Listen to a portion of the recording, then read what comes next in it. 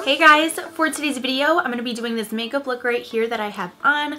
I absolutely love this look. This is a very bronzy but orange based makeup look. I feel like this is perfect for both summer and fall and as crazy as it is, we are approaching fall. It's coming very soon, so you could still wear this during the summertime, but it is also really great for the fall season because it's just very like warm and sultry and stuff like that. So yeah, I really like this look. I hope that you guys like it too, and let's go ahead and get started. So I'm starting off with Peach Smoothie from Makeup Geek as usual, and I'm using an E40 brush from Sigma to apply this throughout the crease, and this is just the perfect base transition shade for all of your other eyeshadows.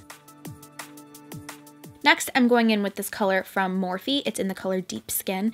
And on an, I think this is an E35 brush, I'm just working this throughout the crease just to warm it up a little bit more. Then I'm adding Chickadee from Makeup Geek. This just adds a lot more oranginess to the eye look and I really like it. I've wanted it for so long, so this is one of my new favorite eyeshadows from Makeup Geek. All right, now we're going in with Cocoa Bear. On an E25 brush from Sigma, I'm just working this through the crease and also on the inner and outer corner, sort of kind of creating a spotlight eye. You don't really have to do that, but just mainly focusing it throughout the crease and making it very round. You don't want to elongate this, just make it very, very round.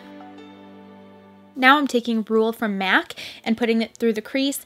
After I was looking at this footage, it really didn't make that much of a difference, so you could just skip this step. Also, I don't know if you noticed, but I'm using my old camera for this video, and I feel like it just looks so much brighter and whiter, so let me know your thoughts on the camera situation. Let me know which one you like better or if it really doesn't matter. All right, next I'm using this eyeliner pencil from Sigma.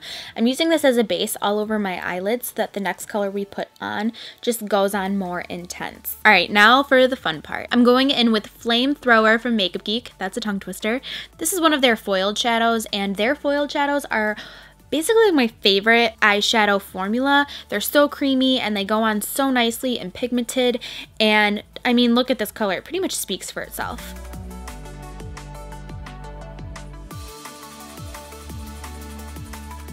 Now I'm adding some mascara. It doesn't really matter what kind because I'm going to go in with false lashes. And these false lashes are from the brand Crown Moiety. They're actually synthetic lashes and I haven't used synthetic lashes in a while, but these were like holy crap, they were so dramatic. Um, so you definitely don't have to go with such of a dramatic false lash, but um, yeah, I had fun today. So now I'm trying a new foundation and it was super, super dark. I have to go back and exchange it. Um, I felt like super orange all day long, but this is the L'Oreal Infallible foundation and I'm just applying it with my Makeup Geek foundation brush. Um, I only wore it like once or twice and so far, so good. And now for my concealer, I'm using the Urban Decay Naked Skin Concealer in the color Light Warm, and I'm buffing it in with this brush from Sigma. It's like the dome-shaped kabuki brush. And then because my foundation was so dark, I'm setting the under eye area with the banana shade from the Anastasia Contour Kit. Usually I need even lighter than the lightest shade, but I was looking pretty tan today. So now I'm going to set my whole face with the Rimmel Stay Matte Powder. So far, I like this as well. This is a pretty new product for me too, but I really like it so far. Now I'm bronzing my face. This is the Makeup For Ever Pro Fusion Bronze in 35i. And I'm just bronzing all the areas of my face and then I'm contouring. I'm using this Makeup Geek blush brush to contour my face. And now I'm using this blush from Makeup Geek as well in the color Summer Fling. It's like a bright orangey color and I really, really like it.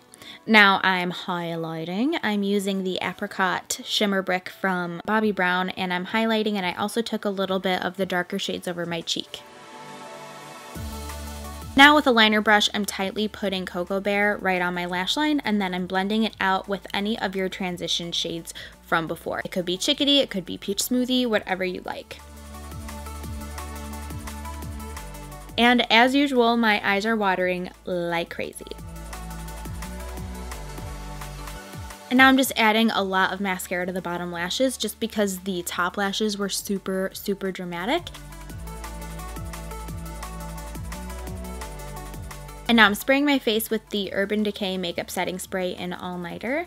And I went and fixed my hair. I hate putting on my lips before I do my hair. So now that I did my hair, I'm applying Subculture Lip Liner from MAC. And then this YSL lipstick in number 10. It's like the perfect nude ever.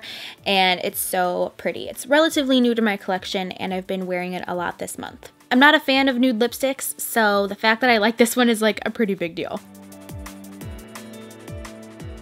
And then I'm applying this gloss from Sigma as well.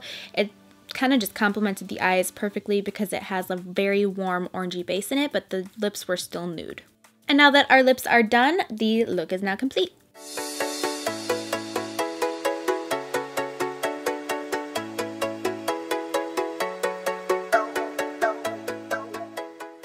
So that's everything for this video. If you liked it, thumbs it up and let me know all of your requests, your comments, and everything down below in the comment section.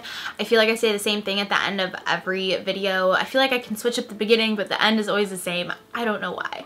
But you know what to do. Thank you so much for watching. Thank you for subscribing to my channel, and I will see you guys on Friday. Bye!